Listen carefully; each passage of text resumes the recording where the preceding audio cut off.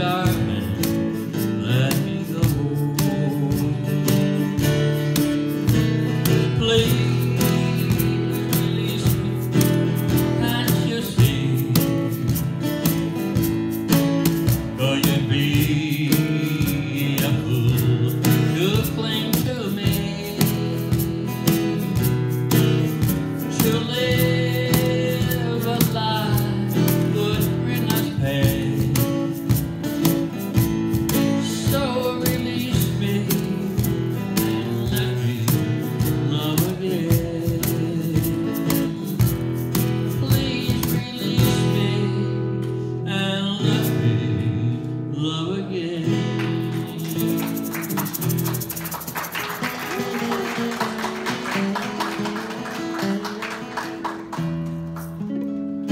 It's nice to see some of you ladies singing along on some of the